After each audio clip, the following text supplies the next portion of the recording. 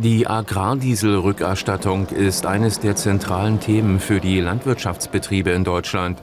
Auch wenn der Bund bisher kaum reagierte, will Brandenburg die Bauern weiter entlasten. Dazu Ministerpräsident Dietmar Woidke.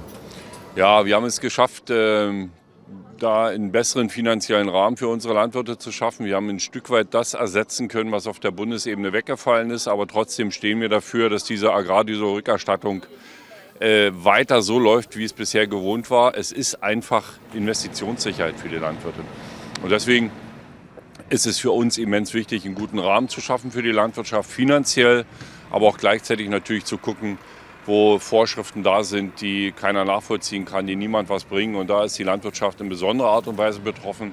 Da sitzen wir momentan auch mit den Landwirten zusammen und werden da auch ähm, einige Dinge streichen, auch bei uns im Land Brandenburg. Der Landesbauernverband verweist auf bisher 13 Entlastungen für die Bauern bei insgesamt 55 Forderungen.